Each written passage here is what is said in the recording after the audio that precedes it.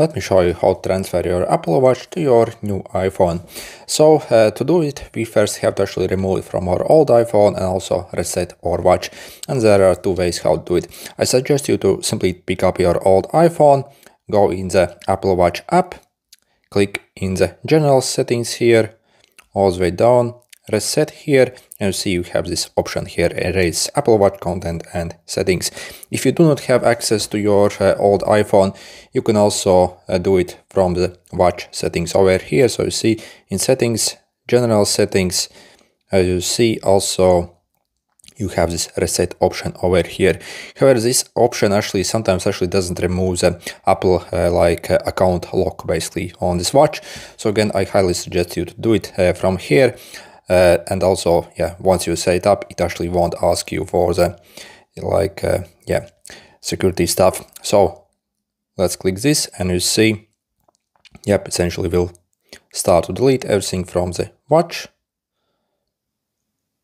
Confirm your password. Okay.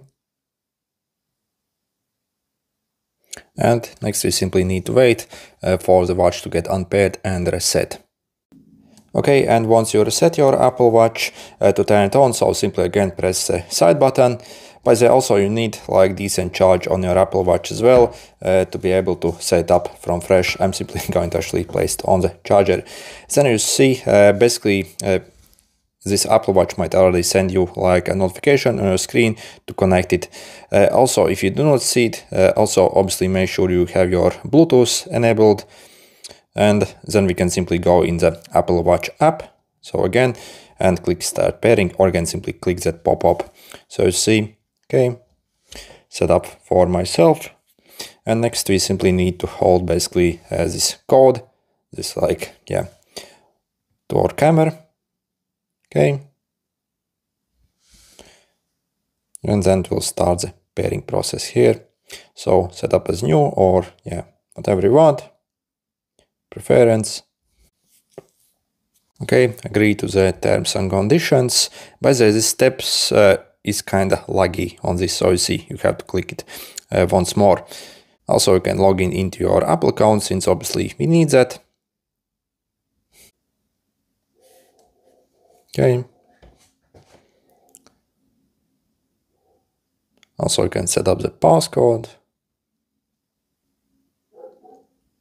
Change the text size or also again you can set this up later in the settings as well.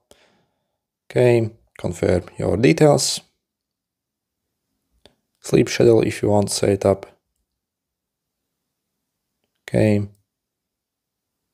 And again simply wait. This might take a while actually. Okay so you see it's essentially finishing up, uh, yeah, basically setting up. Uh, this might take up to even 10 minutes sometimes, depending on the age of your Apple Watch, so simply wait.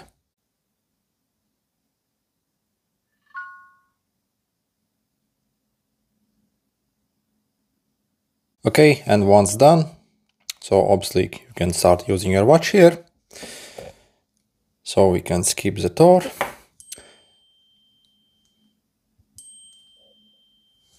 And also, for example, if you want manage the settings, so it's obviously much easier through the phone app here. Or also you can, for example, set a new watch face here. And as you see, we have new watch face here. You can also change the view here.